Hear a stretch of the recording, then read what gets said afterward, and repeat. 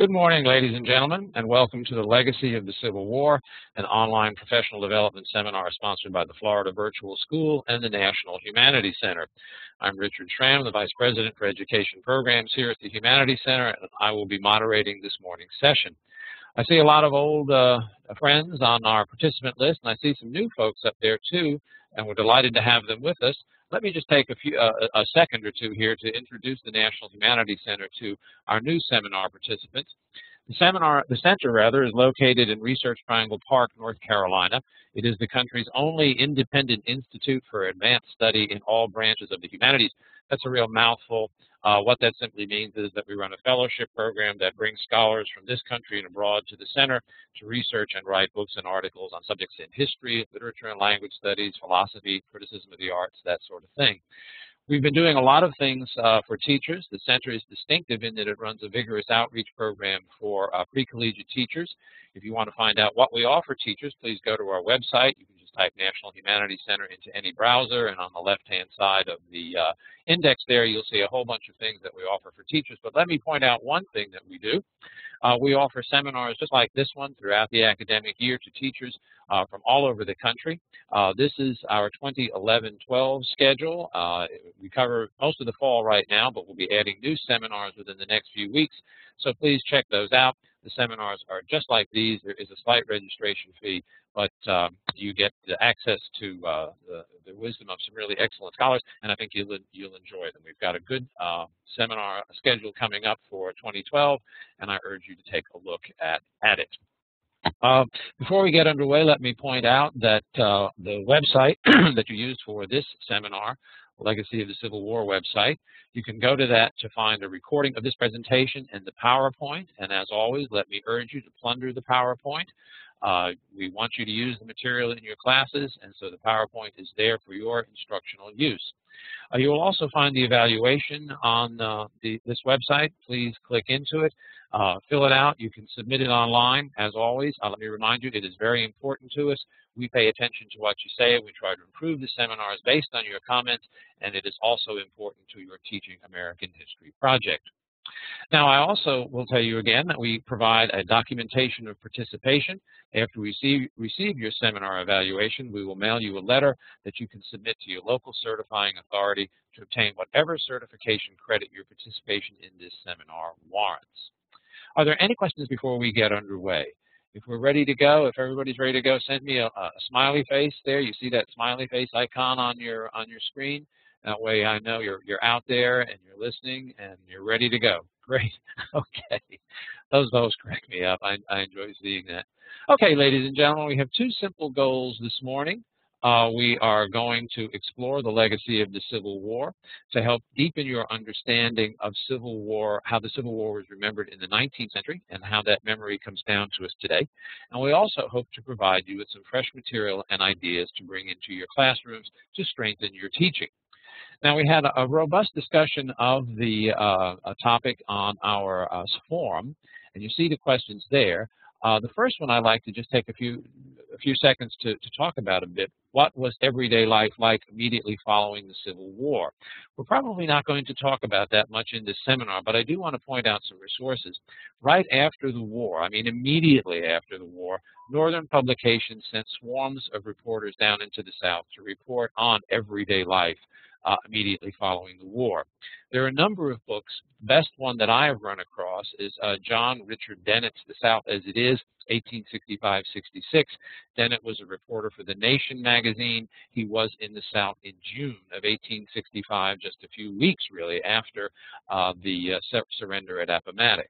Uh, that's out of print, maybe kind of hard to find, but it is really uh, a worthwhile read and will give you a very good picture of what everyday life was like immediately after the Civil War.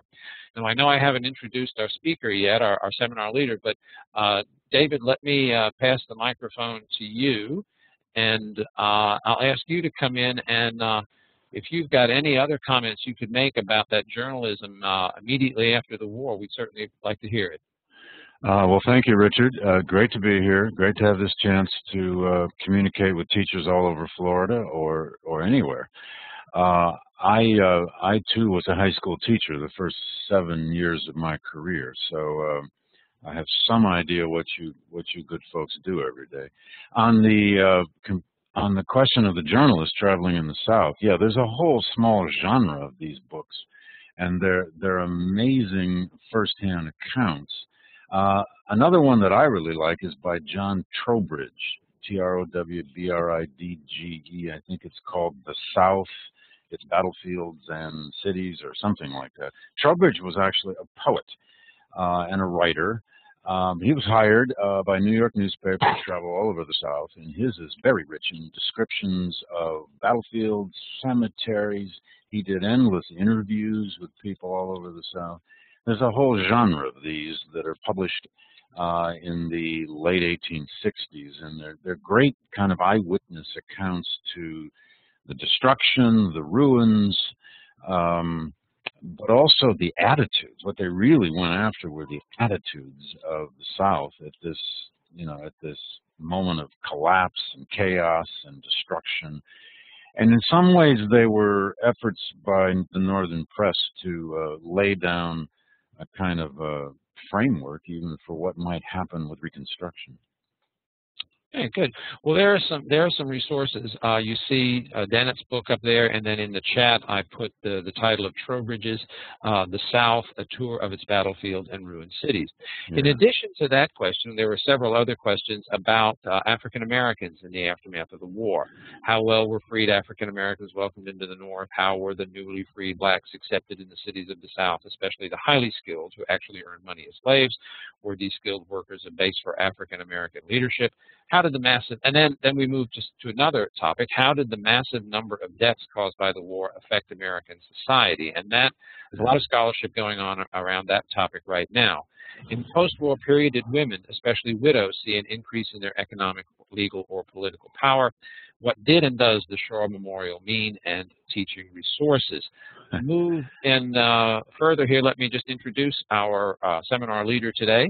David W. Blight is the class of 1954 professor of American history and the director of the Gilder Lehrman Center for the Study of Slavery, Resistance, and Abolition at Yale. You see his publications there. I highly recommend Race and Reunion. You see the number of prizes that one. Uh, and I'm also looking forward uh, to his new book coming out in just a few weeks, American Oracle, The Civil War in the Civil Rights Era. So let me pass the baton to David so that he can run the uh, PowerPoint. David, it's all yours. Uh, okay, uh, just to be clear, do do I hit the arrows to advance this, or you you do it? Yes, you do. You do. Oh, I do. That arrow okay. to the right of the zero oh, nine right, box. Right, right, right. Okay, here we are. Here we are. Here we are. Okay, everybody. Well, I had you read the first ten pages of Robert Penn Warren's wonderful little classic, "The Legacy of the Civil War." Uh, they only allow the first ten pages to be photocopied and sent out or or used uh, for copyright reasons. But this little book, if you don't know it uh, is is a uh, it's a meditation really. It's about a hundred pages. Warren, the great Southern poet novelist, in 1960 and 61 was challenged by the editors at Life magazine to write a, a take on where he thought Civil War memory was at the 100th anniversary, at the centennial. And this this pamphlet was really first published in Life magazine as a long essay. It's chock full of observations about the place of the Civil War in American history, the place of this event in the national memory, uh, the place of it in the sort of surviving culture of the society at its 100th anniversary. And he says, among many other things, um, it's a pretty bold statement. Is the Civil War the great single event of our history? It may, in fact, be said to be American history.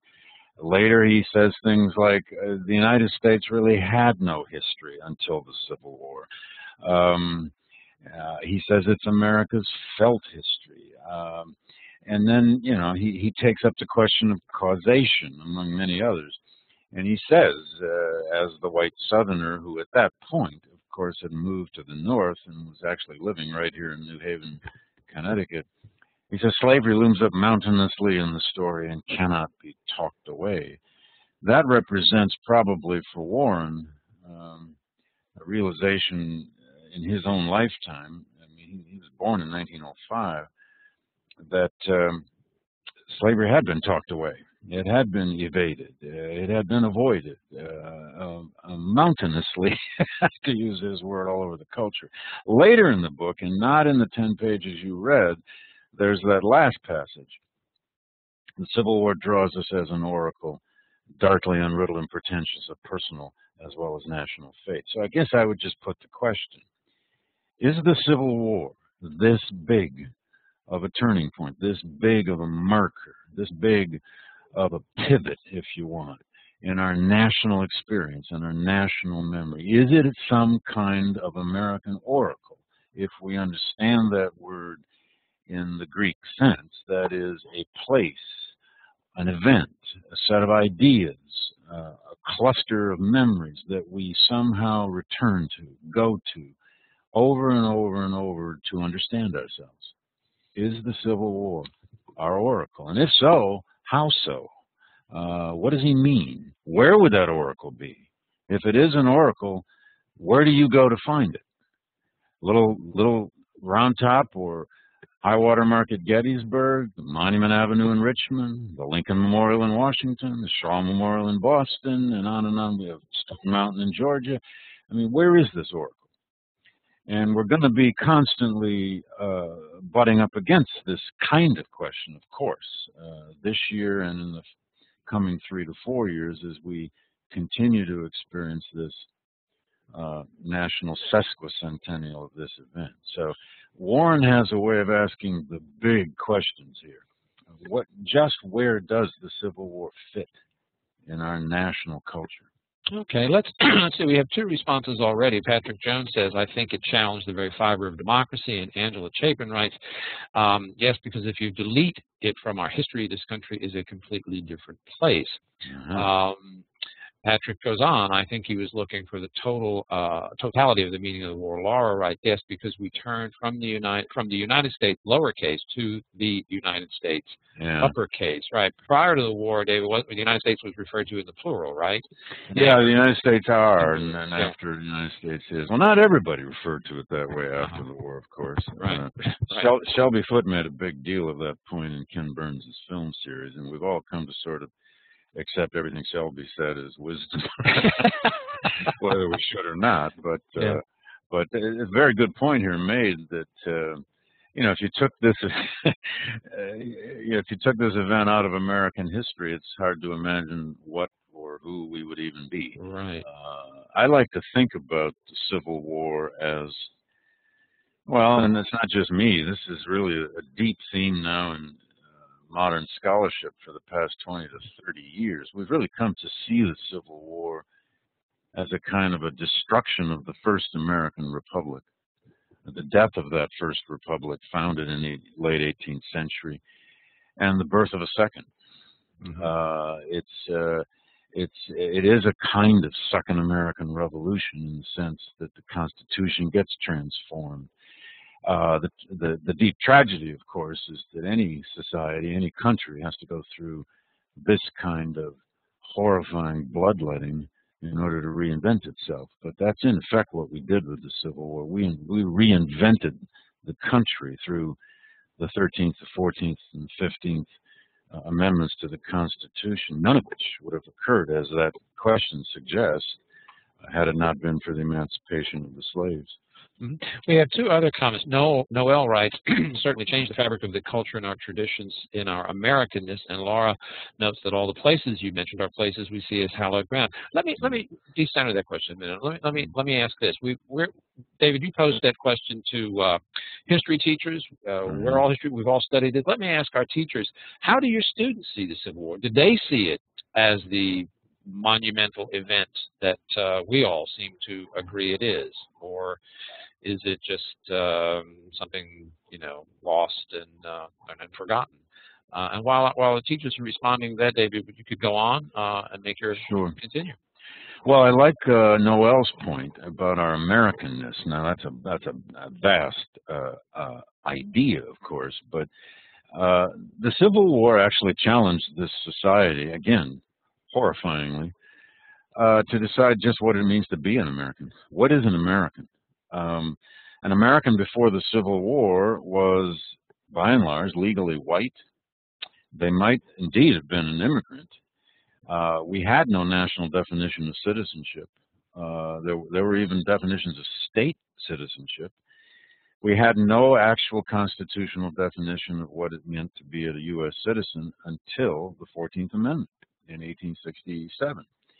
Um, and it was only through this um, big war that we expanded that idea, that we at least began to experiment much, much further than the First Republic ever did with expanding uh, this idea of who indeed can be an American. Now, the 14th Amendment says it's anybody born here. The first five words of the 14th Amendment in Clause 1 are uh, the statement, the famous statement of birthright citizenship, which of course has been very much back in the news the past year. Uh, but then it goes on to define American citizenship, and it uses that famous, uh, absolutely um, crucial uh, language about how every American citizen shall have equal protection of the law. Now, this notion of equality, that if you're born here, you're a citizen, and you are therefore endowed, to go back to Jefferson's natural rights tradition, but now entitled to, to go to the more modern constitutional definition, you are entitled to certain liberties and rights. It took that Civil War, unfortunately, tragically, uh, for us to reach that point in our history of the development of this fledgling idea of human equality. So, so this, this notion about Americanness really was fundamentally transformed out of that war. Of course, the story wasn't over. The story never is over. And the great move ahead that the 13th, 14th, and 15th Amendments brought were, of course, in so many ways, uh, rejected or betrayed or reversed or however you want to put it, first by Supreme Court decisions, then by the terrorism of the Ku Klux Klan, then by the counter-revolution in the South, and eventually all but ruined in the Jim Crow system that evolved by the late 19th and early 20th century, necessitating, of course, what in effect became, if you like, the birth of our third republic. I mean, one way of thinking about this is that the modern civil rights movement of the 50s and 60s, in our own lifetime for many of us, uh, was not only a second reconstruction, as C. Vann Woodward once called it, but it really was uh, yet again a transformation, uh, uh, you know, the, the, necessity of once again revisiting what does it mean to be an American? Who's an American? Who really has equality? Uh, th this is this is as deep an American story as you could think of, and of course it has a great deal to do with why and how the rest of the world stays so interested in us. So I like that point about Americanness. We, we, we forever, aren't we, endlessly debating just what does that mean. Okay, well, I think we could move ahead then. Well, hallowed ground is interesting too. I mean, that's a loaded term, isn't it? It's a fascinating term. Uh, hallowed ground, sacred ground. Uh, it's interesting to stop for a moment, particularly with your, your teenage students, and ask them, so what makes a place sacred? What, what makes a landscape, a place, a piece of real estate sacred as opposed to a piece of real estate down the road, which isn't. And it's usually, of course, unfortunately, uh, blood sacrifice. Those Civil War battlefields are called hallowed or sacred ground because of the scale of loss, the scale of sacrifice. Uh, uh, on those battlefields. Um, and, and, and everybody can come up with their own take of what makes a particular location sacred or, or hallowed. But in this particular case, we have the story, of course, of a war of enormous loss, enormous sacrifice. And in some ways, that's where the near obsession we've had over the years with Civil War memory, I think, really begins. Uh, this is this is a, a scale of death in war that uh, Americans have never experienced since, uh, hopefully never will. If you took the number of Civil War dead, which is about 625,000, died of wounds or you know, combat or majority, the big majority, of course, of disease. You took the 625,000 Civil War dead and you moved that per capita to the Vietnam era of the roughly official 12 years of the Vietnam War for the U.S., we would have lost nearly 5 million people in Vietnam. That's almost hard to get your head around. We lost, what, 58 to 60,000. There, there, I think there are 58 plus thousand names on the Vietnam Memorial in Washington. Try to imagine a war where we had to put 5 million names on it. That's the scale of loss per capita if you go back to the population of 1861 to 1865. That's the kind of impact it had. And just add to that one other number, and these kinds of big numbers can affect, I think, students when they hear them. To this day, right now, and I don't remember who did this study off the top of my head, but about one in every three Americans can, this actually surprises me, but apparently it's true. One in every three Americans can trace his ancestry, his or her ancestry to the Civil War. That is, they can claim an ancestor who lived during or fought in the Civil War. And with all the massive new immigration we've had in the 20th century, uh, from from Europe and now from Asia and from Latin America and on and on and on, it's still one in every three of us had an ancestor that was in this event. Okay. Okay. So you want me to move ahead here? Yes. Why don't we move on then? Great. Great. Okay. Well, this is the passage comes right out of my uh, prologue to Race and Reunion. It just sets up the uh, the way, and here you all would know, uh, as great readers of history, I was doing what every historian does. I was trying to boil down the infinity of information into three kinds of visions or three kinds of Civil War memory, and we could certainly debate whether these are the only three. But maybe, maybe Richard, you ought to read that quote so we're all we all have it in our head. Get it on the table. the overall visions of Civil War memory collided and combined over time. One, the reconciliationist vision, which took root in the process of dealing with the dead. Two, the white supremacist vision, which took many forms early, including terror and violence, locked arms with the reconciliationists of many kinds, and by the turn of the century delivered the country a segregated memory of the Civil War on Southern terms. And three, the emancipationist vision, embodied in African Americans' complex remembrance of their own freedom, in the politics of radical reconstruction, and in the conceptions of the war as the reinvention of the republic and the liberation of blacks to citizenship and constitutional equality. Yeah, well, these these are that's a passage you all did read in the brief prologue in my book, uh, and here are some ways of thinking about it through these questions. I also use, of course, looking at the second question, this uh, language of healing and justice. I, I, find that useful because I think it's what has gone on in all societies that have experienced particularly civil wars like this, you know, where the enemy has to stay when the war is over. Uh, either the victor, the victor or the defeated are not going to leave by and large. You're all still going to be in the same society. So you face this, and you think of the 20th century, think of modern history. How many societies, even right now, how many societies in the world are facing that very conundrum? How do you achieve both healing healing now on the level of, of psychological healing, physical healing, family healing, social healing, but then how do you also achieve public justice?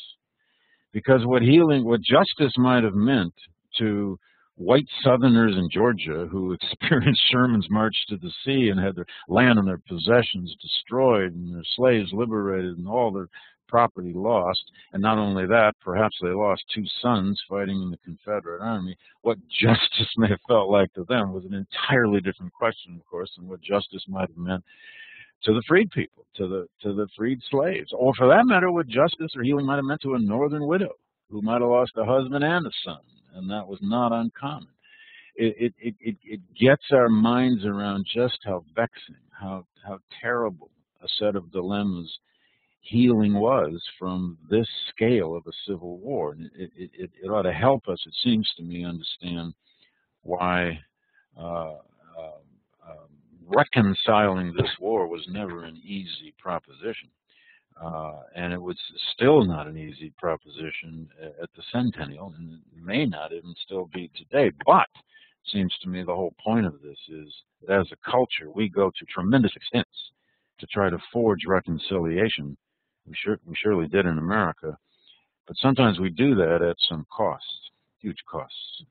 David, if I could just focus on the reconciliationist division for a moment, because you Sure. say there that it took root in the process of dealing with the dead, and that raises one of the questions that came up in the forum. Right. How did the massive number of deaths caused by the war affect American society? Could you could you talk about that for a moment? How did the reconciliationist division try to encompass and deal with the the, the, the mourning uh, that Mm. was going on? Well, first of all, that's the first huge challenge the whole society faced, of course, north or south, black or white. Uh, the, the scale of death. And, and uh, Drew Faust, uh, the old friend of mine who's now famously president of Harvard, uh, published this recent book just before she became president of Harvard. Otherwise, we never would have seen it probably.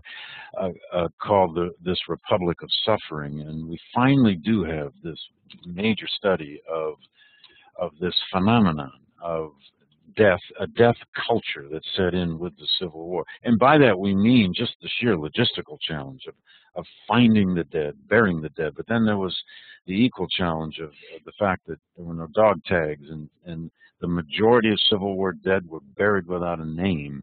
And then there was the challenge of establishing national cemeteries, and there are over 70 such national cemeteries. That took years to, to do. In the South, it was an even bigger dilemma, locating the dead and bringing them home if possible. Uh, this was a society in colossal collective mourning, and it had to find a way within its Christian, largely cosmology, its Christian worldview, to understand what they had just experienced, to come up with justifications, to come up with some kind of explanation. The spirit of reconciliation is born there uh, in in this desperate need to understand why why there are so many dead young men, for that matter, older men, all over the country, and eventually, what the culture does it takes a t- it takes time, it takes a generation, and my book in the chapters that weren't assigned deals with this at great length. I mean, eventually what the culture did more than anything else is it forged a culture of reconciliation largely around not only this scale of sacrifice, which was very mutual, it had happened on both sides, of course, but also around the story of soldiers' valor, the story of soldiers' sacrifice, because that's something both sides experienced on an enormous scale. Again, uh, this is done sometimes out of a natural urge but also sometimes it's done out of out of uh, a kind of political persuasion, a kind of political impetus. If you really do want a culture of reunion for all sorts of political reasons, to get new investments in the South, to forge industrialization and help it grow, or because you want to give the South back control of its race relations, or and if you're in the South, you don't want these black people in legislatures, you don't want them voting, you want them back on farms being good sharecroppers. You begin to remember the Civil War as a story of soldiers' sacrifice and not a war caused by slavery, ending with this mass emancipation of four million slaves and a transformation of the Constitution. In other words, very early, a politics of just what that reconciliationist vision would mean sets in very deeply. And somebody asked here, I noticed, you know, do, do, those first two visions ultimately kind of fold into one another? And the answer is, of course, yes. They do indeed. Uh, the white supremacist vision, the reconciliationist vision, if we can use these as uh, frameworks and shorthand, did deliver the country an, an essentially segregated, racially segregated memory of this war by, we could say, roughly 1900, certainly by the time of that blue-gray reunion at Gettysburg on the 50th anniversary in 1913. But boy, we're getting a lot of great questions here. Yeah, about Balkans, about Douglass, about all kinds. Right. If, if, I could just raise that, bring in the one Julie Joyner asked somewhere back up in the chat. Sure. Um, she asked about the shift in demographics. Oh yeah, yeah. Widows after the Civil War. Oh yeah. Did that have any influence on the progression of women's rights? And that echoes uh, a question that was raised in the forum yes. about widows and the legal and economic and political power of women. David, could you comment on that? Oh, sure. And the, the, the, the widow story here is especially profound in the South. Uh, you had whole communities where uh, large percentages of the men had vanished. Uh, and, and, and many white women lived in a, a scale of poverty they had never imagined. And I'm just talking, I'm not just talking about planter women, you know, the, the, the former rich planters, but the vast majority of uh, yeoman women, so-called, uh, farm women who had never owned slaves. Um, this is obviously a complicated story, an ironic story. Uh, women's suffrage suffers, frankly, no pun intended, uh, as a cause um, because of the Civil War, because of the emergence of black men voting, and that, of course, is the first time in American history that the term male, that gender actually appeared in the U.S. Constitution was the 15th Amendment, which gave black men the right to vote, but not women. Um, it gave all males the right to vote, um, and but explicitly did therefore not give the right to vote to women. The women's women's rights movement did did get re-spurred, of course, but primarily in the North after the Civil War. And I would urge our teachers, there's a growing literature now on Southern women, Southern white women, by the late 19th and early 20th century, and it's a fascinating, ironic, and complex story. There were many Southern women, for example, who were the daughters of Civil War veterans in particular. Um, they become known as the United Daughters of the Confederacy. That's their name. And by the 1890s, turn of the 20th century, they really are the people in the white South who are controlling the development of, of, a culture of memory across the South. They raise the money for monuments and memorials. They have some congressmen wrapped around their fingers. Uh, they even see to the reburial of some Confederate dead, and mostly they developed a kind of a, an argument of the, the lost cause explanation of the war, which was, in their claim, of course, was that it had never anything to do with slavery, that Robert E. Lee was next to God, and uh, that the South fought nobly for, for, for a great cause. Many of those white Southern women were actually anti-suffrage, not all of them. I mean, there, there are real divisions even among them. Uh, within these United Daughters of the Confederacy, uh, local groups. There would be some women who would support women's suffrage, some who would oppose it and said it was not women's place. It's a very mixed, complicated story. But women got deeply involved, and they did in the North as well, in what could broadly be called memorial culture.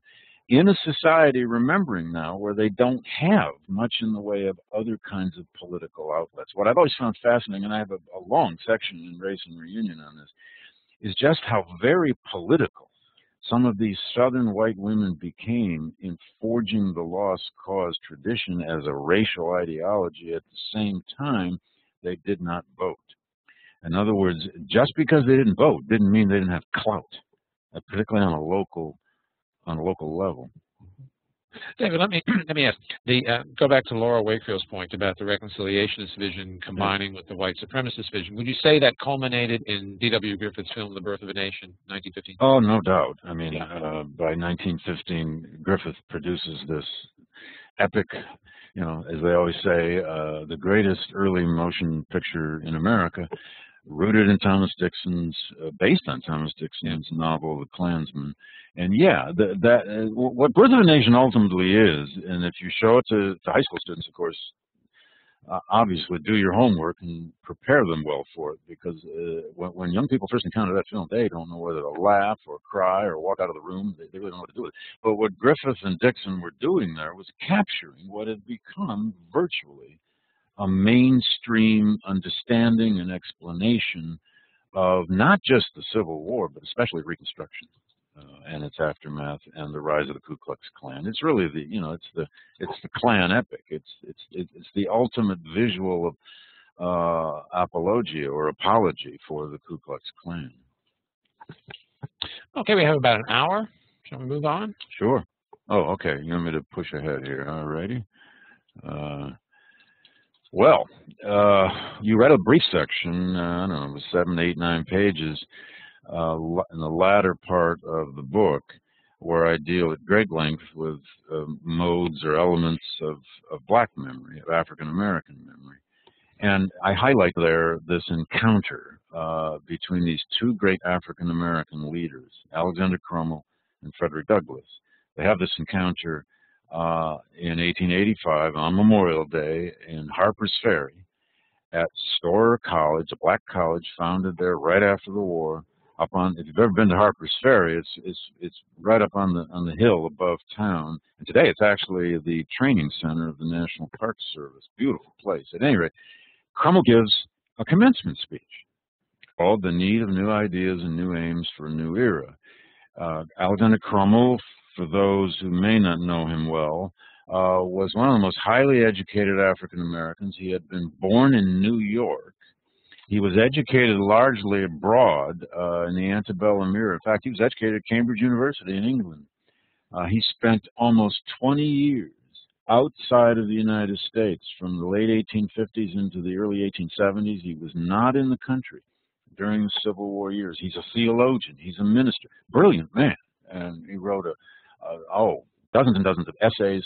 Many of his sermons have now been published. He had a certain kind of I hate to use these labels, but he, he, he was a sort he, he believed in a certain kind of conservative theology and a certain vision of history.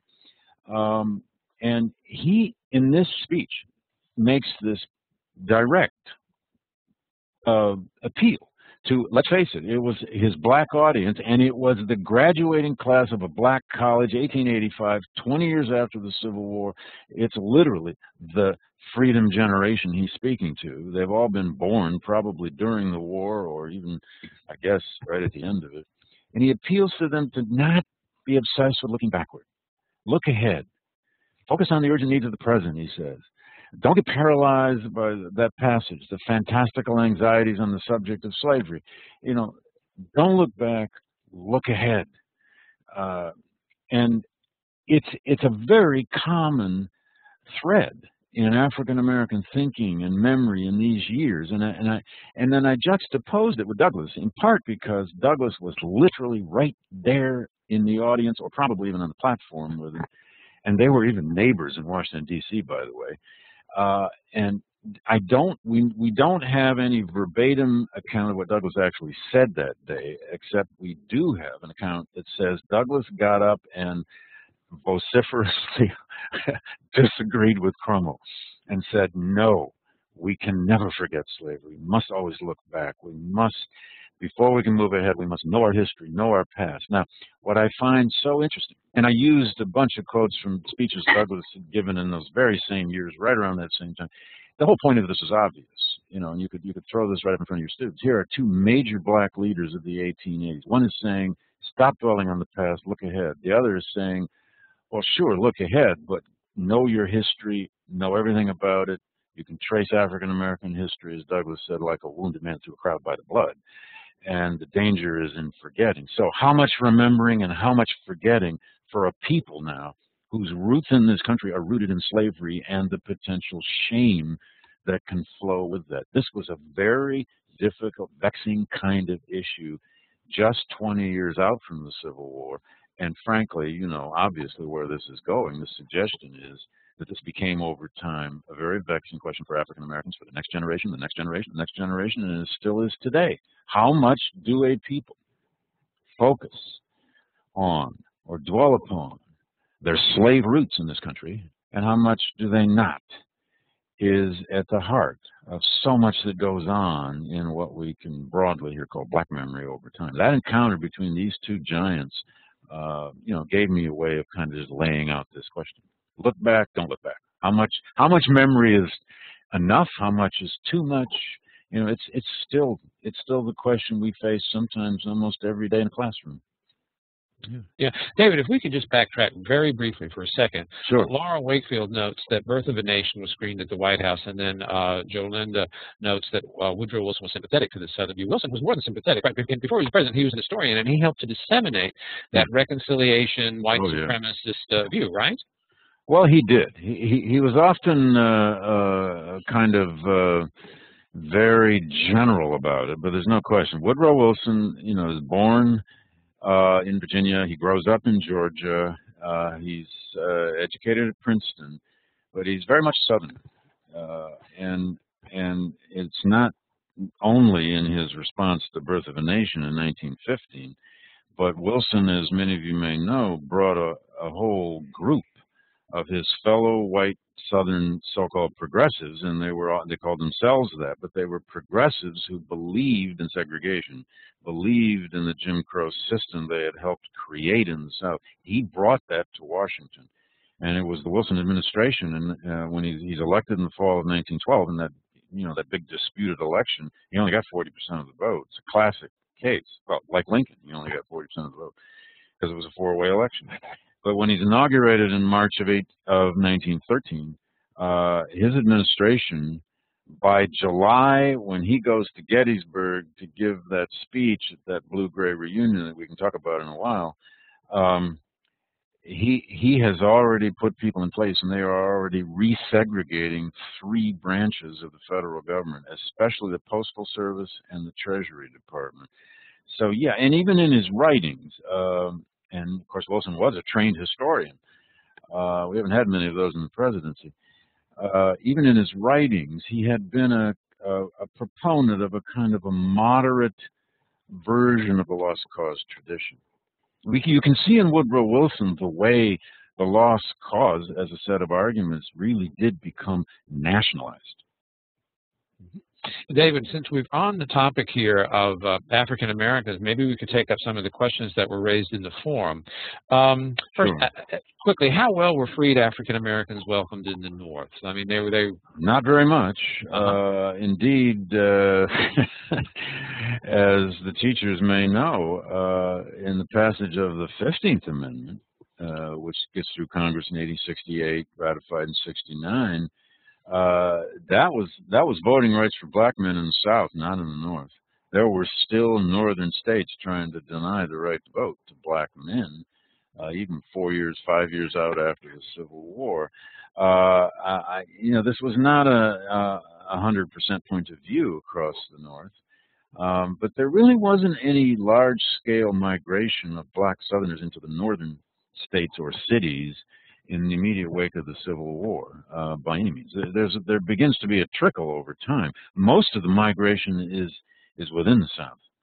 The, the rural to urban migration that we begin to see, indeed, uh, um, uh, after Reconstruction, in particular, growth of the tenant system and the sharecropping system, that rural to urban migration is mostly to southern cities, which do grow uh, in very sizable uh, dimensions, uh, whole black communities. And that is where you begin to also, of course, see, uh, even before it's de jure, you begin to see de facto forms of residential segregation, re residential Jim Crow, transportation Jim Crow, and job and economic Jim Crow evolving in the South before you ever really get an actual Jim Crow law passed.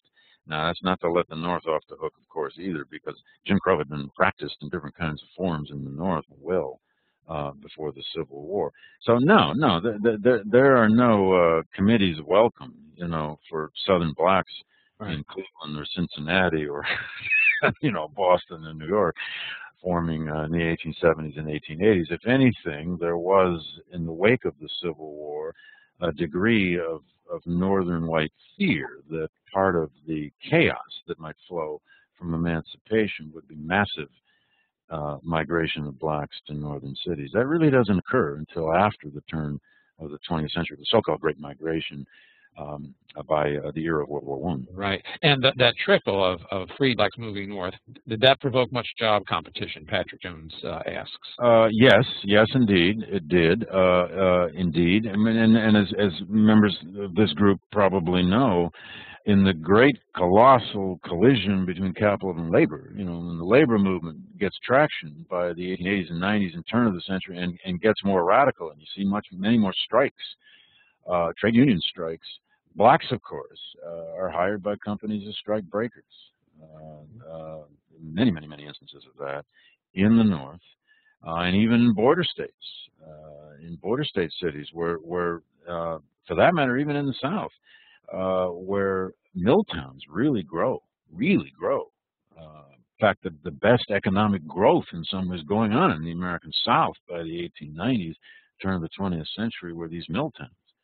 Um, uh, although unionism in the South never caught on as much as in the North. There was an earlier question too, and we ought to maybe take it up right here before we leave this, about just how the, the Civil War itself fueled industrialization or, or didn't. And we've, you know, we've had a long historians debate over this, as many may know here, going all the way back to Charles Beard and even before, as to just what a marker the Civil War and Reconstruction really are in the history of industrialization.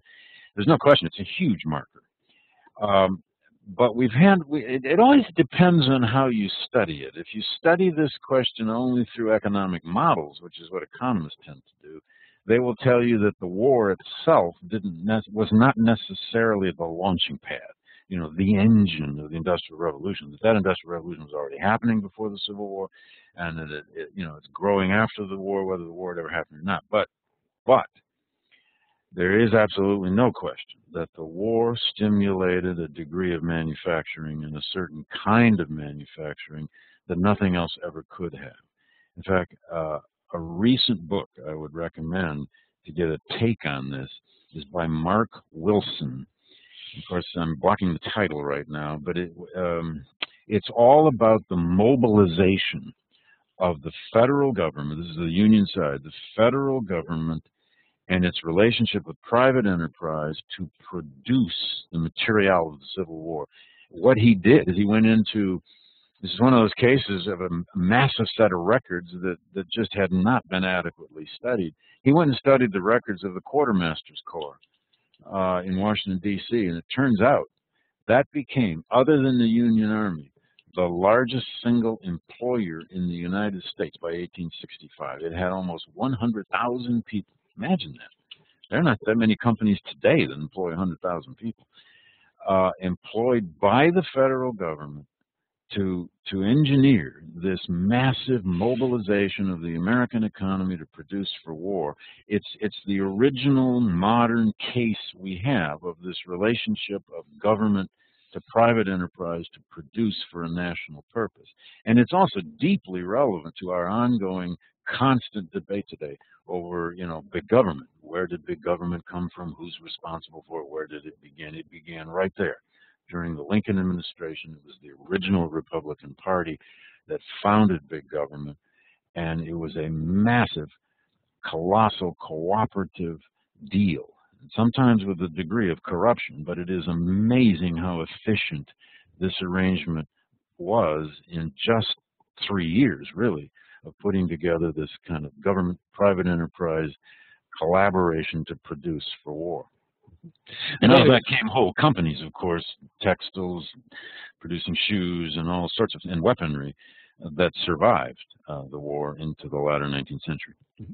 David, um, your your mention of internal migration within the South raises some other questions that were uh, uh, put forth in the form about how uh, African Americans were received in southern cities, especially those who uh, brought with them skills, yeah. Uh, not, yeah, not yeah. just farm hands. Right. So could you, could you address that, Platt? Well, they were welcome, uh, and some cases welcome also uh, by railroad companies, as railroads really expanded in the South. And we all know that eventually railroad jobs for blacks usually meant porters. Uh, but, but actually being a porter on railroads eventually became a pretty good job. And eventually it created the first famous black unions, the, the Sleeping Car Porter Union. Um, yeah, their skills were valued uh, in towns and cities, uh, and yet uh, most black workers who came to a city, say circa 1880s, 1890s, turn of the 20th century, faced all kinds of job racial discrimination. And make no mistake, uh, you know, the jobs in those mill towns uh, in the South went first to white people. They were good jobs, and not to black people. Uh, it was an artisan economy. If a black man with great skills, who came out of slavery with great skills, um, with his hands, with his mind, you know, that kind of intellectual capital, if you want. He could go to a city, but he'd still be basically working on his own as an artisan.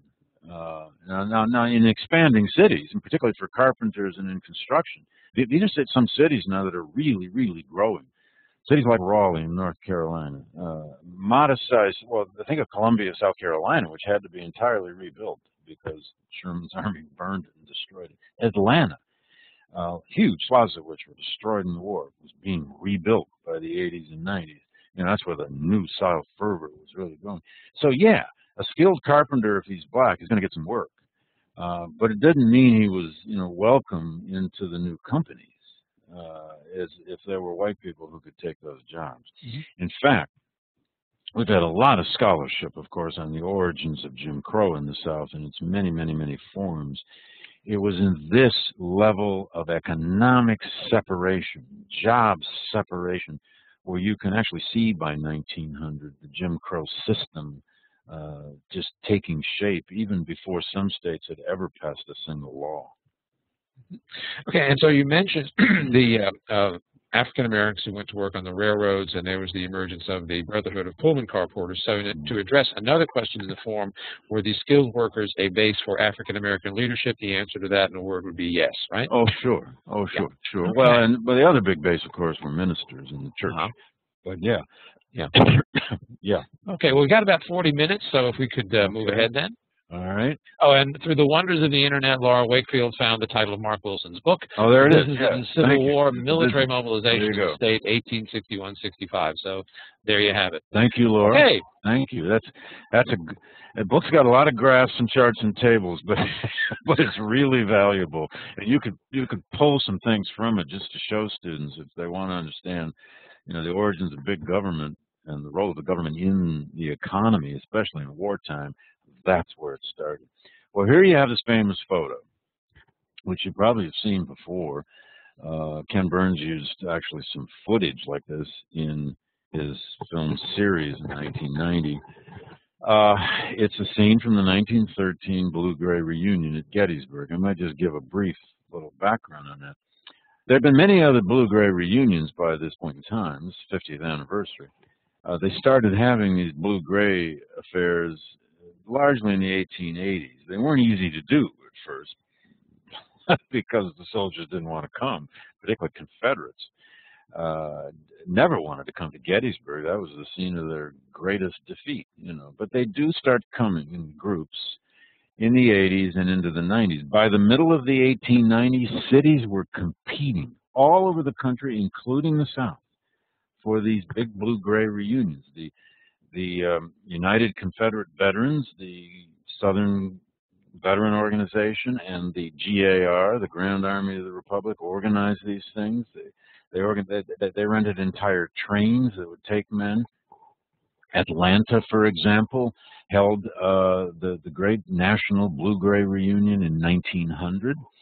Uh, Louisville, other southern cities, uh, even in Florida, they had one of these big things in Florida. But by 1913, 50th anniversary of Gettysburg, they held this extraordinary event. It was planned for years by the state of Pennsylvania and by the War Department. The federal government paid for most of this, although some of the states paid as well. If you were a Civil War veteran living anywhere in the United States and you were on anybody's mailing list, you were, were given the right to come to this reunion and they paid your train fare. And veterans came from both sides, from every state in the Union, including every western state except, I believe, two. It was like Nevada and Wyoming, I think, were then were in the Union by then, but the, they didn't send any veterans. But but veterans came. You know, there were Confederates living in Oregon. There were Union veterans living in Los Angeles. There were et cetera, et cetera, et cetera. They came from all over the country, thousands of miles for this four-day festival but it was planned from its inception. And there are great records on this, and there's a big commemorative book that was produced right at the end of it. It was planned from its inception as a festival of reconciliation, a festival of reunion, a festival of harmony. It was, in fact, it was called the Great Peace Jubilee. And I write about it in Race and Reunion, but I think unfortunately in uh, chapter one and, and then the final epilogue, where you haven't probably read it yet, but maybe you could at some point. Uh, it was an amazing event, and it was covered by the press all over the country, dozens of photographers, and produced lots of these kinds of photographs. These are Union and Confederate veterans, obviously, actually shaking hands across a stone wall. If you've been to Gettysburg, it's right there along the high water mark. Uh, this is all, of course, very staged. Uh, but these kinds of things were, were staged all over the battlefield during these four days. The veterans all lived in a huge, gigantic tent city. But the important thing to understand about this is that there were no black veterans at this reunion. They were not allowed at this reunion. This was a Jim Crow reunion. The only black people at this huge event, about 55,000 veterans came to this. The only black people at this were the black men who built the, the latrines for the tent city, worked in the mess tents, handed out blankets. In other words, they were part of the staff, but no black veterans were allowed. Every governor of every state came to this, many of whom were still Civil War veterans. In fact, uh, uh, uh, what's his name? William, uh, his name was um, Mann, William Hodges Mann, M-A-N-N, the, the governor of Virginia, was himself a Confederate veteran. And the governor of Pennsylvania at that point was himself a Union veteran. The average age of one of these veterans at that reunion was about 74 years old. I mean, some of them were much older, in their 80s, uh, and some a bit younger, uh, who had been just boys uh, during the war. Um, but here you have it, this photogenic, this richly symbolic image of a country put back together, uh, a, you know, a reunion reforged among them, the men who'd actually fought the battle. And, and as you may know, they actually tried to stage, they did stage some sort of little mini reenactment with these old guys moving up Cemetery Ridge toward the wall, uh, and and there were actually even uh, voice recordings of some of them done at, at, that time. And as you know, film, moving film, had been invented by then, and there's footage of this. But again, the, the key point here is that there were no speeches allowed at this reunion. There was speech after speech after speech. They built a huge tent right out by what's called the high water mark. And they, I forget, about 15 or 20,000 of the veterans fit inside that tent. Um, and they held a big event on the final day, the 4th of July, and the keynote speaker was, of course, Woodrow Wilson, President of the United States, just been inaugurated that spring. And as I say in my book, Wilson did not want to go to this. Uh, he's the first Southern-born president elected since the Civil War and no one's more aware of that than Woodrow Wilson. He wanted nothing to do with this Gray reunion. He didn't want to go there.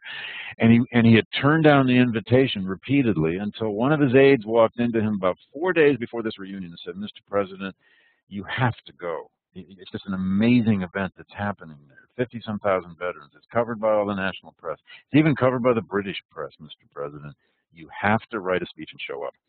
And he did he they whisked him into town by train. They put him in the back of a convertible.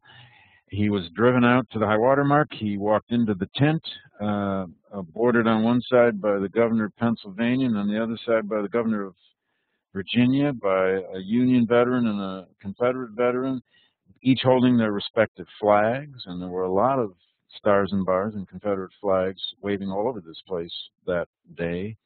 Wilson went into the big tent and gave his own sort of Gettysburg address, which is, of course, why many presidents don't like to go to Gettysburg because they always get compared compared to that guy from 1863. But in this speech that Wilson gives, he captured this spirit of reconciliation. He says things like, we are not here to talk about the causes and consequences of the war. We are here to let the veterans look into each other's eyes, shake each other's hands, embrace again as brothers, and and you know, and it's a beautiful sentiment. Who, who could be against that?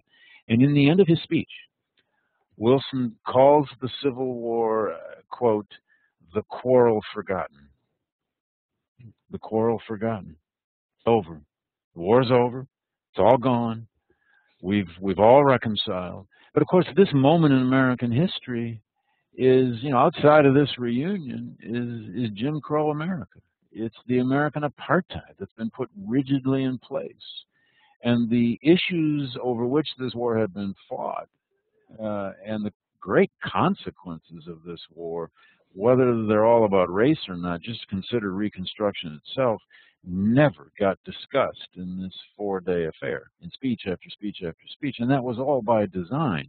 The whole point here is to show that memory is the national or the collective, the public memory of any nation's great events so often depends on who's forging that memory, to what ends, under what kinds of power, what kinds of control, and this may have been the most highly orchestrated, certainly most visual, uh, in scale the biggest, such Civil War memory moment perhaps the country ever had. They did another big blue-gray reunion at Gettysburg on the 75th anniversary in 1938. Of course, by then, there aren't that many veterans left. They're really, really dying off. And by the way, I should tell you, if you look at the final segment of Ken Burns' film series, which surely some of you have even taught, perhaps, and watch that final episode again, because Ken uses a lot of footage of this, and why not? As a filmmaker, it's great stuff. I don't blame him for a moment. But he he did he did some interesting trickery there.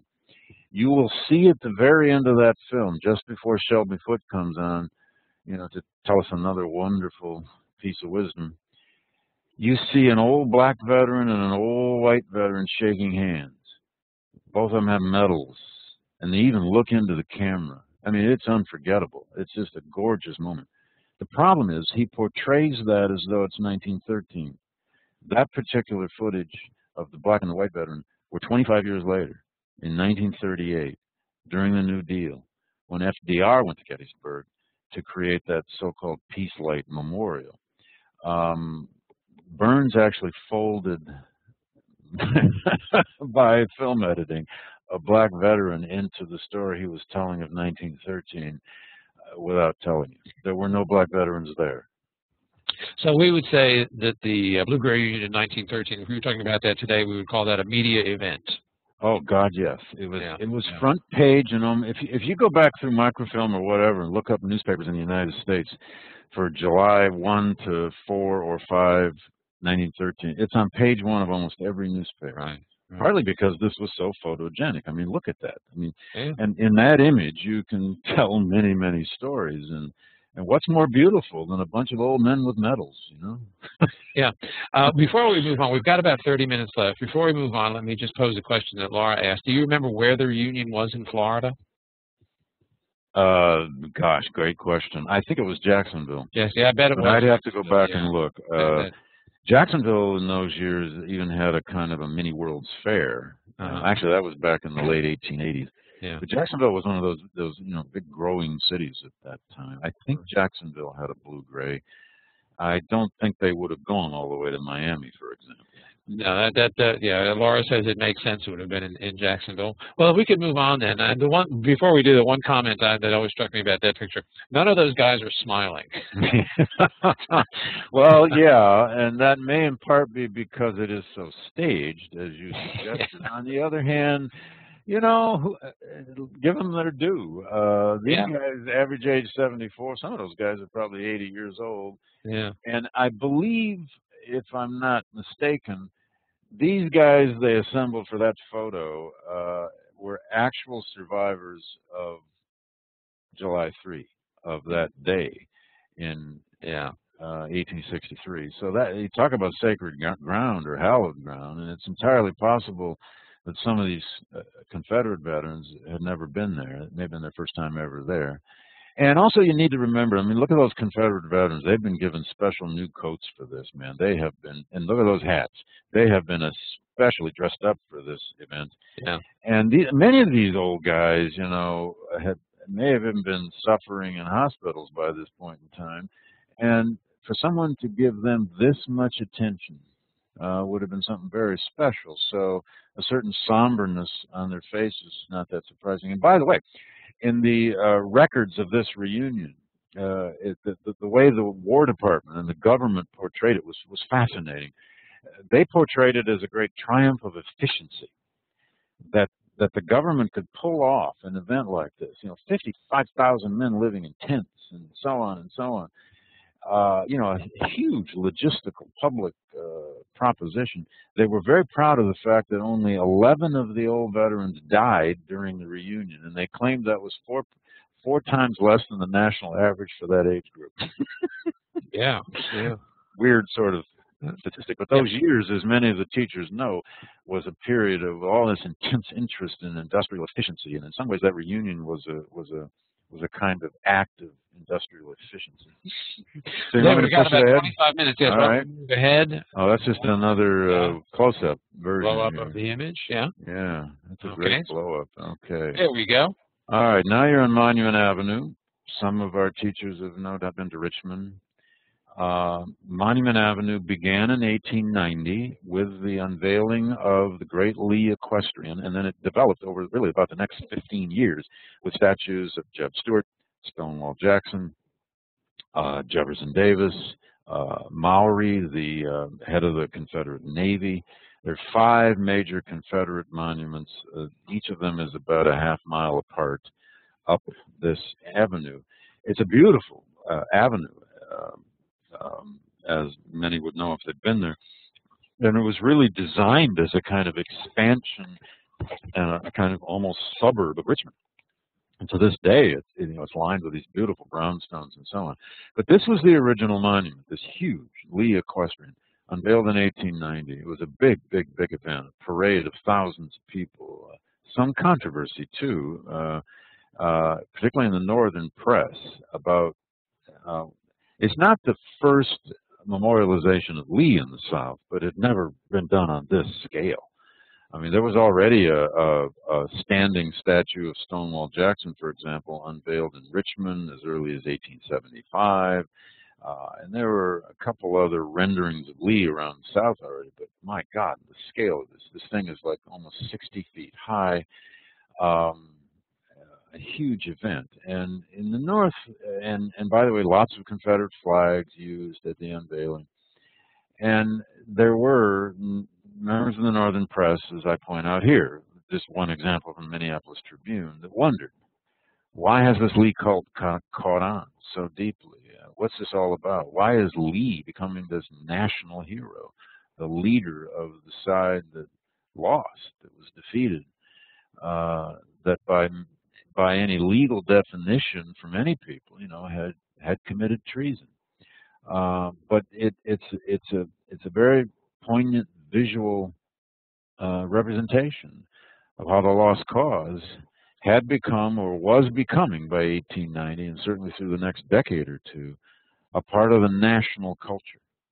And it's all, and it leads to this question of, you know, why is it in America uh, that the side that was defeated so decisively in this massive civil war, nevertheless on our landscape gets commemorated so beautifully, so openly, so vividly. People from abroad, I've been asked this many times, you know, if you urge them to go to Monument Avenue or you just urge them, you know, to go around the South and see all the Confederate monuments, they, they wonder, uh, how can that be? the side that lost. This guy, Lee, led the uh, Confederacy. How can he be memorialized so openly? And of course, some answers to that are obvious. Uh, um, uh, once the southern states were back in the Union, uh, once the southern state governments were back under the control of the Democratic, you know, the white Democratic Party, uh, uh, Southerners were free to represent their story as they wished. Uh, no one had the legal right to prevent them from putting up these monuments if they could afford it. If, if, and indeed, often um, um, a lot of Northerners uh, even supported this kind of thing and sometimes contributed money. Now, you know, I so the question that I put to you, and that you might even think about finding a way to put to your own students, is why are the leaders of the Confederacy, why is the Confederate story so openly, so vastly memorialized and commemorated on our national landscape? How do we end up explaining that? Mm-hmm. Well, Jen Baker notes that it's a great question. It would make a great uh, document-based question for students. But uh, while we're moving ahead here, we have about 20 minutes left. If, if the, our participants have any insights uh, into that, if they'd like to suggest any answers, please uh, chat them in. I was following along these same lines, David. I was recently in uh, Biloxi, Mississippi, and I was at the uh, Jefferson right. Davis House, right. and his presidential library is being built behind the house. And uh, well, they have to rebuild it because of Katrina, right? Katrina blew it away, right? Yeah. And part of the funding to rebuild the presidential library is coming from FEMA, the federal government. Uh, oh yeah. Well, I, I think Haley Barbour had a lot to do with pulling that off. Uh, and why not? I mean, that's a that's a that's a particularly the library. I mean, there's there should be a Jefferson Davis library if indeed there are papers and materials. Right. Uh, you know, it's the kind of problem Richmond faces all the time, obviously because it was the capital. And I've done a lot of work in Richmond, not just research, but I'm on the board there of the new museum in Richmond that some of the teachers may know, uh, called the National Civil War Center at Tredegar. Uh, it's built in part of the ruins or out of part of the ruins of the old Tredegar Iron Works. And Richmond, of course, part of its story is the Confederate story, but of course part of its story is the African American story as well. And part of its story is the fall of Richmond. Uh, part of its story is Lincoln's coming to Richmond at the end of the war. So you know it's a it's a complicated, ironic, often messy affair for a city like Richmond.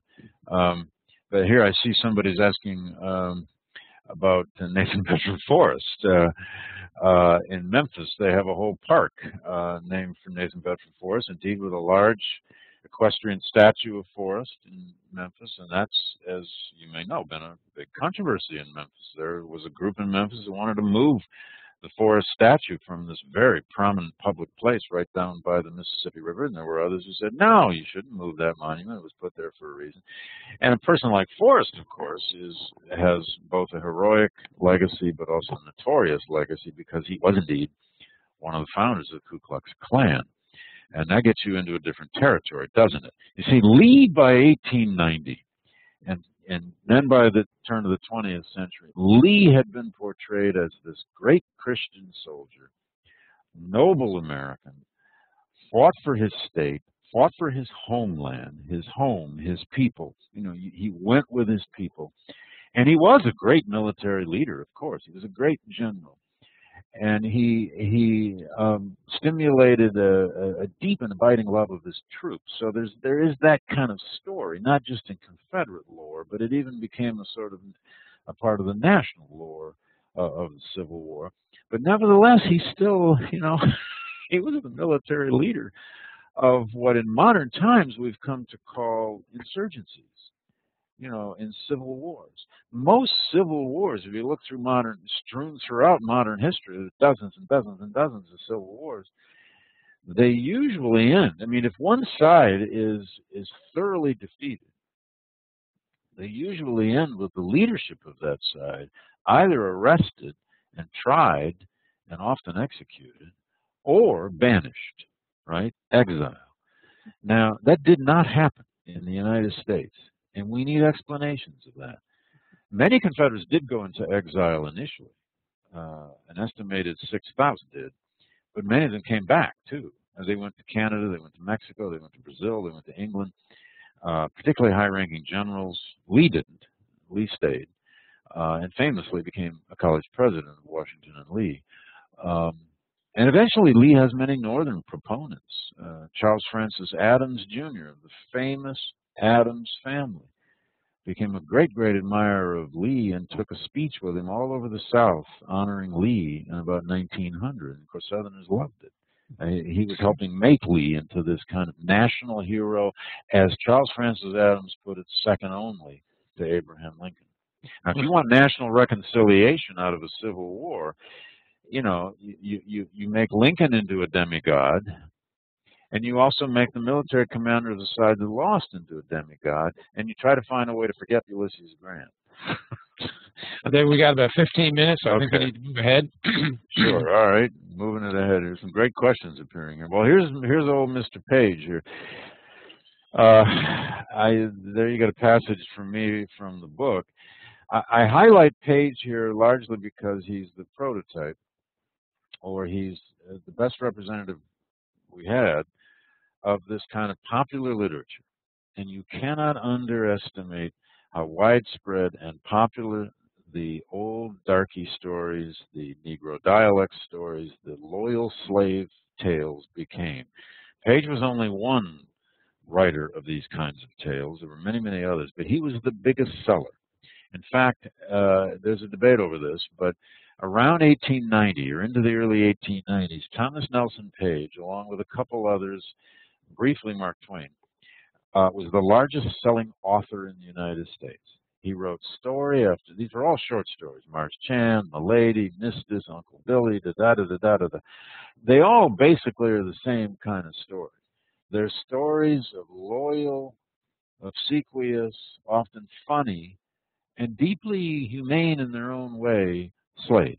The stories always are pre-war.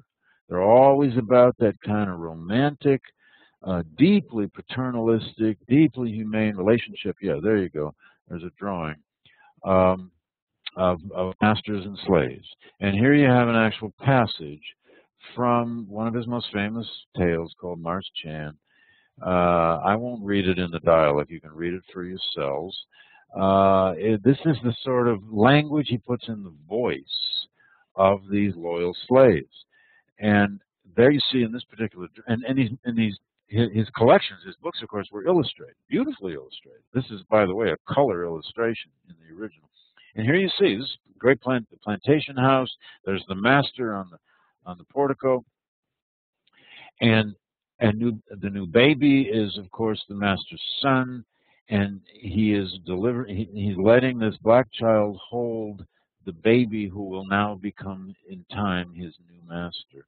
And the, the blacks are all gathered to honor the baby in, in pure kind of almost monarchical loyalty.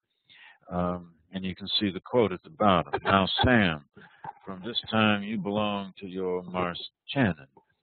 Um, now, th this kind of wonderful, pastoral, romantic environment is the sort of story that not only Thomas Nelson Page wrote, but many others. I argue in Race and Reunion, therefore, and you know, I mean, this is a, a bit speculative, but I argue that because of the readership, the hundreds of thousands of readers that Page achieved were by far a majority northern whites. Publishing industries in the north, his publishers were in New York. And by the way, Page did these speaking tours all over the north. He went he did the Chautauqua circuit all across the north. He would speak to hundreds and hundreds of people. And he would read these dialect stories. He was apparently very good at it. He would read these dialect stories to, to crowds in Cleveland, Detroit, Chicago, and they loved it. They loved hearing these darky tales by the 1890s. The readership is majority Northern. And so I argued in Race and Reunion that the voice, in some ways, in the ear of so many white Americans by the 1890s and turn of the 20th century, the voice of the reunion, the voice of all this reconciliation of North and South in the popular literature, in the popular culture, became the voice of one of these old darkies, old loyal slaves, telling how wonderful it was in the old days on the plantation. And gee whiz, gosh, it's just a shame that you know that war came and ended ended all the good times back on the old plantation. And if you take that kind of popular culture and you dig your nose into it long enough, and you read enough of these stories, if you can stand it, you begin to see where Gone with the Wind came from. You begin to see where the Shirley Temple stories are all rooted.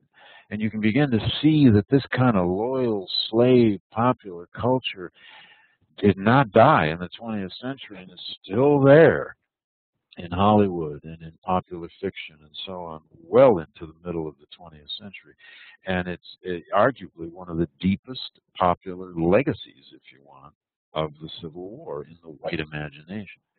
Uh, one thing that strikes me about that picture, David, there there is no young black male in that No. picture. The two, the one man is obviously old, and then the other guy doesn't look real young. But there's no young. They're children and women and old men. There's no young black male in that. That's That, interesting. that's Good problematic. That's a good Yeah. point. Yeah, that's a very good point. But the but the children are just utterly fascinated with with the baby, of course, and they're all and and it's a. I mean, this is this is almost an image you could take back to, to paintings of monarchs, you know, with their subjects uh, over the centuries uh, in, in European painting. Um, but uh, you know, we, we un- I guess the point is we underestimate this kind of popular cultural memory at our risk because thousands upon thousands of people are digesting and consuming this, this sort of material. Well, a lot of great questions coming up here about Uncle Tom's Cabin, and of course, this is the era where Uncle Tom's Cabin is is massively popular, particularly as a stage play. Uh, by the 1890s, turn of the century, Uncle Tom, you know, has been sort of transformed from the way Harriet Beecher Stowe created the story into uh, into these Tom shows and Tom plays, which were. And by the way, minstrelsy, blackface minstrelsy, was the most popular form of American entertainment by 1900. Uh, and you have to kind of see this stuff uh, in that context as well. I think we need to move on, Dave. We've got about Okay. ten minutes. All right, all right. And now, stark contrast, to say the least. I don't know how many of you from Florida have been to Boston to see this extraordinary monument, which is on Boston Common. It's right across the street from the Massachusetts State Capitol. It's Augustus St. Gaudens' masterpiece of public art. That that this is the Shaw Memorial. It represents uh, the march of the 54th Massachusetts, the famous Black Regiment, made even more famous by the movie Glory back in, I think, was it 1989, 1990. Uh, it is it is first and foremost a magnificent work of sculpture. Uh, it, it has the faces. If you if you were up close enough to it, it has the faces of 22 black men in it. They are three deep and in a couple cases four deep. The entire bas relief is only about a foot and a half deep, or two feet if you count the horse. That's Shaw, of course, on horseback, and behind him the marching men of the 54th Massachusetts. It's located right on Boston Common, right where this regiment marched off to war um, in late May 1863 uh, in front of a huge crowd. And the faces the St. Gaudens caught on this monument are both young and old. You've got a drummer boy out front who may have only been, you know, 14, 12 years old. You've got older men and young men. This was the consummate kind of national black regiment, even though it was recruited in Massachusetts. These men were recruited from all over the country. Some of them were former slaves. The majority of them were born free. They came from almost every northern state. The largest group actually came from Pennsylvania. They were a kind of national black regiment. What I like to, and I take teacher groups there every summer, and I've often taken students there as well. What I like to point out about this monument is that it, again, it's a, it's a magnificent work of art in the sense that through bronze it tells a story. Note the arc of the legs the grace of those men. They're, they're moving forward, forward, forward. And of course, if you know the story of the 54th Mass, those men are by and large marching to their deaths. They had 60% casualties at Fort Wagner in, in the third week of July, uh, their major battle uh, down around uh, on Charleston Harbor, on what was then called Sullivan's Island. Um, most of these men are marching to their deaths. And it's that story in the midst of the Civil War that black men had to not only don a uniform, put a musket on their shoulder, but they actually had to go bleed and die before most Americans would actually acknowledge them as men, as human beings. And of course, in the broader sense, what this monument represents is, uh, again, through the, the power of art, is the story of emancipation It's the story of a war that ultimately, by 63 64, was being fought uh, to end slavery, uh, to destroy this system. And if you juxtapose this up against, uh, say, Thomas Nelson Page's images of the old plantation darkies, you begin to see how starkly different stories and versions and narratives about the Civil War were becoming by the 1890s. This was unveiled in Boston in 1897 on Memorial Day, and the two keynote speakers were Booker T. Washington and William James. James, the famous Harvard philosopher. And there's a line in James's speech. They both gave fascinating speeches, but there's a line in James's speech where he says, you can almost hear and feel the bronze Negroes breathe, uh, which was uh, in some ways his tribute to St. Gaudens, that he had captured them so powerfully uh, in you know, a monument of bronze. But here you have, if you want, the emancipationist memory of the Civil War. In the previous image from Page, you have the white supremacist memory of the Civil War. And then earlier, you know, in that blue-gray reunion photo, you have the classic reconciliationist vision of the war, and you can see them clashing. You can see how they overlapped but didn't overlap. And that's been our problem with Civil War memory, is how do we put all these visions into, you know, narrative? How do we put all these visions into one story? Can we into one story? Can we tell all these stories at once? and get away with it? Do we want to hear all these stories at once? anyway, great questions again here are emerging. Um, I just wish we had time to take them all up. Somebody here, oh, Samantha says you had a student, um, and yeah, they thought the 54th wasn't very good because they uh, they uh, suffered so many casualties. I know, and only had one Medal of Honor winner. Yeah, oh. God. No. Well, I don't know where they're learning their military history, but uh, the reason they had so many casualties is they were thrown in first in, to attack a huge fort that they had no chance of ever taking. Mm-hmm. Uh, but uh, the story is is true. You know, Shaw volunteered them to go 1st mm-hmm. Well, we end here with a slide I think that our teachers could use in class, and it might be worthwhile just to spend a, a, a, our last few minutes here comparing these two.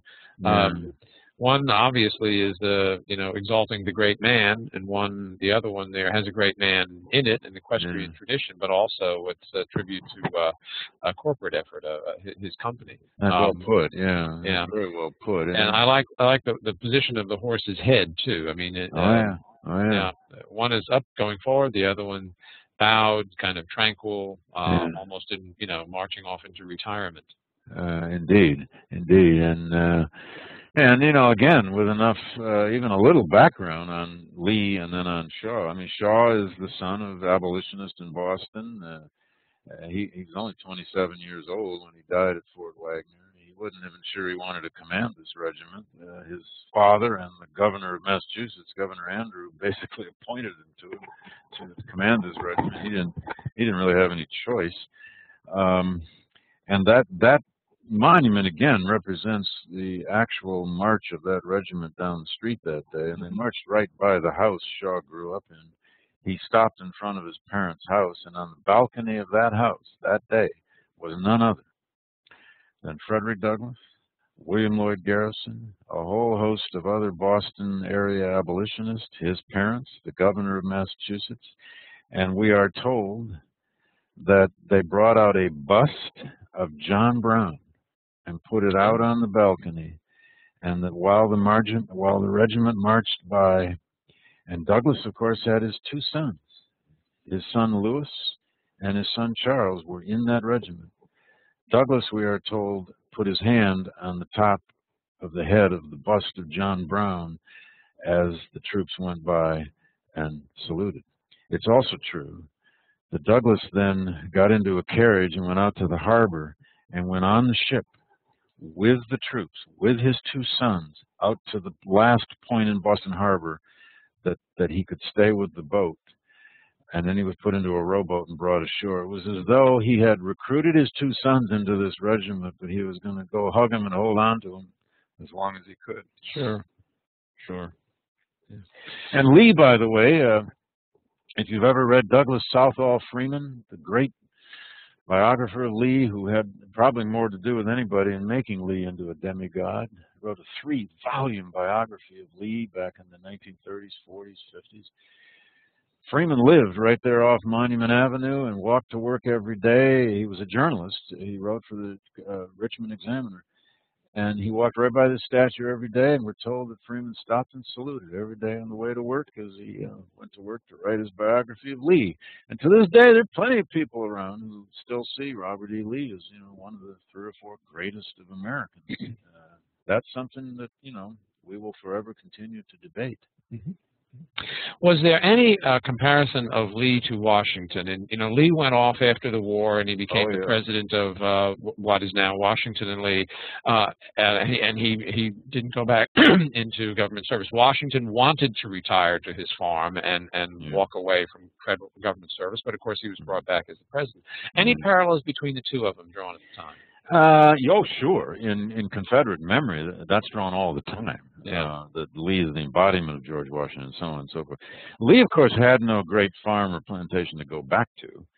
Uh, he he ended up having a house in Richmond, but his great estate there uh, in Arlington Mhm. uh, was, of course, appropriated by the federal government, by the Union Army, and it was Lee's estate there, which he actually inherited, of course, from his wife, who was uh, a direct Washington descendant, uh, Lee married into the George Washington clan, the George Washington That's right.